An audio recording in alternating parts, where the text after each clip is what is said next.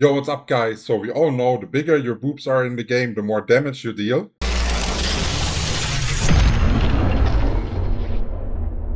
Now, jokes aside, Amazon did release a new business model for their monetization for Throne and Liberty.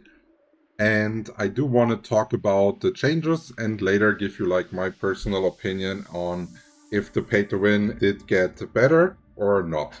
So let's start with um, their values. Because from what they're saying, like player self-expression, combat and power upgrade must be accessible to all players, which is like a core feature of defining between pay to win and pay to progress. So pay to win, I would consider if you can buy powers with real money that is not that you're not able to access at all as a free-to-play player due to it be maybe being like on tagged with a price tag, like for example 10 euros, instead of the in-game currency which is in Throne of Liberty it. The last one here, purchasing items from our in-game shop must feel rewarding but never necessary yeah, I don't know what to think about that. That's just like an evergreen for every shop area, I guess. Let's do a quick overview of the things that are currently in the game so you get an idea on how the current monetization is working and what are the changes on it. So we have three currencies. Um, the main currency, I would say, being Lucent. This is the, the currency that you can buy with real money. This is also the currency that will be used in the auction house. So on first glance, that looks horribly pay to win. Then we are having Sollant. Sollant is um, basically the gold in the game. You will use it to craft, to upgrade. From my experience in Korea, Sollant was more of a bottleneck than Lucent in the early and mid game, and that shifted in the end game to Lucent being the bottleneck. The third one is ornamental coins that you can get in-game by collecting books and there's like certain other events and stuff that can trigger this.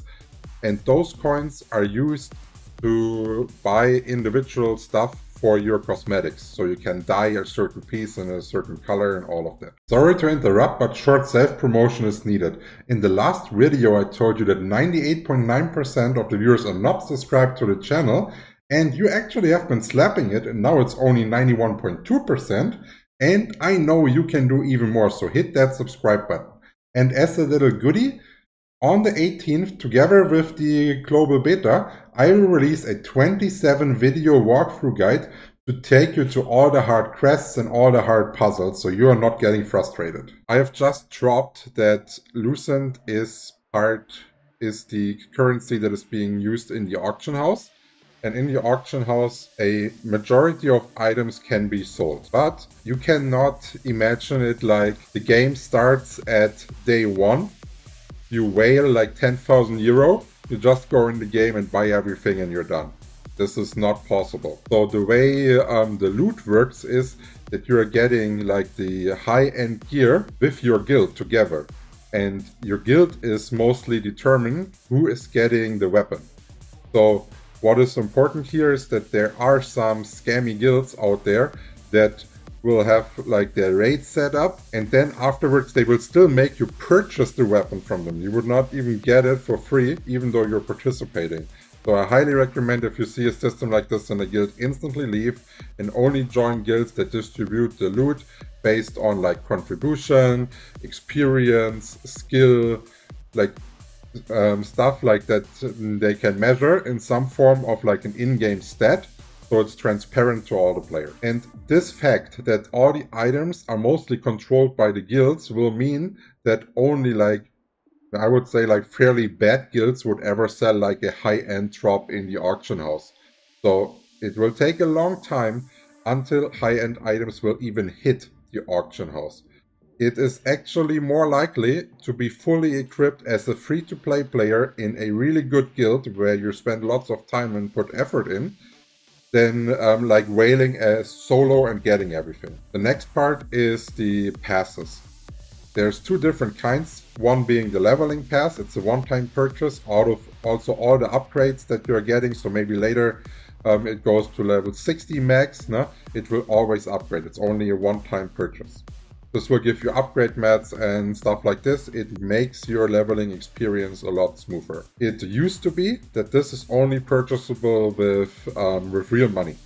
There was no Lucent tag on it. But now it's also purchasable with Lucent. So as a free-to-play player, you can just go and farm items and sell them in the auction house to get your Lucent. There's many ways to farm Lucent fairly efficient. When I was playing in Korea, I was not able to donate, obviously, because it's Korea. So I did not um, purchase any Lucent and I just farmed all my Lucent. And I was able to play and even stay competitive in PvP as a free-to-play player. Of course, I would have been like a decent amount stronger if I would have been able to purchase, but um, I would say the longer the server exists, the less relevant it was. Like, money in this game can only buy you like an early spike on a server start, but not in a long-term process. The next thing is the Battle Pass. It's basically the same. It is now purchasable with Lucent, so you can obtain it as a free-to-play player. When we are looking at the in-game store, there used to be that you can actually buy Sollant, food and potions. And I think it's a really good change that they removed that from the um, from the store because this was creating an imbalance. At the early game, Sollant is a bottleneck.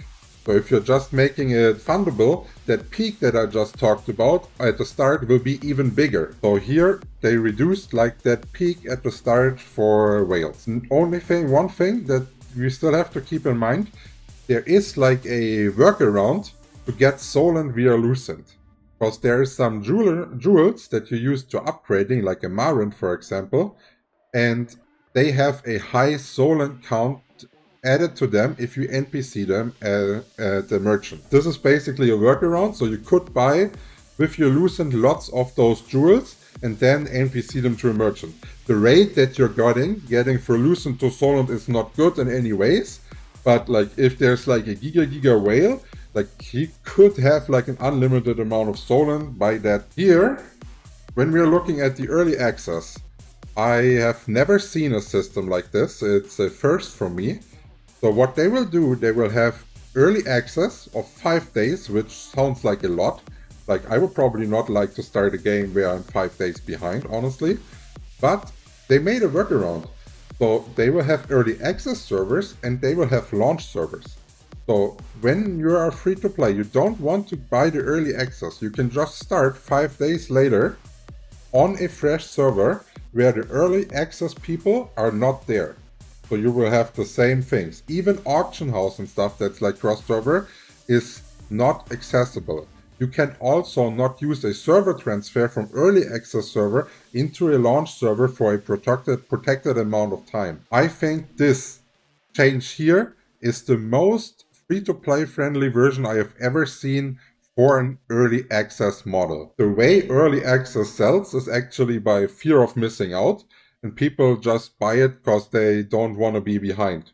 And now, the only reason to actually buy it is you don't want to see other people playing the days for five days, uh, playing the game for five days on Twitch and only watch them and not be able to play. And I think if that is the case and you have the money, you should just buy it. No? And if you want to save some bucks, then just enjoy some nice streams while you're waiting for the release. And that being said, don't forget I am streaming as well. And now I want to talk about the latest change where I think one of the biggest pay-to-win factors in the Korean version was laying, and this is the Blessing of Solisium. That gave you an enormous amount of benefits. So like teleporting for free, additional dungeon runs, so you would get like more drops than people that would not be able to purchase it, and this Blessing of Solisium was also only purchasable with real cash. So this um, is really bad. I would say like it was like the core pay to win aspect of the game. And this is actually being removed. If I want to sum up all of it, I would say you go and get um, Lucent as a free-to-play player just by farming dungeon, doing your regular tasks and selling the stuffs in the auction house. You will be slower than a player that is purchasing Lucent with real cash at the start regarding that power spike. I am pretty sure that in the long term, it will not matter how much you would have spent at the start, the people will get decked out. Also, the game is not offering any RNG upgrades. That means um, there's not like, or you need to get like really, really lucky, yeah, to hit like a max roll on something, and only whales that spend like um, 100,000 euros are able to actually get that because the chances for that are so low. Stuff like this is not existing. So if a server is pursuing for a decent amount of time, the gear of a free-to-play player and a cacher will look exactly the same. So basically my result of all of that is I would say it's actually clean pay to progress. You cannot purchase any power directly. There are a couple small workarounds, but overall I think the this as a free-to-play game will actually have the best free-to-play experience from all the free-to-play MMOs that I've played so far. Yes guys.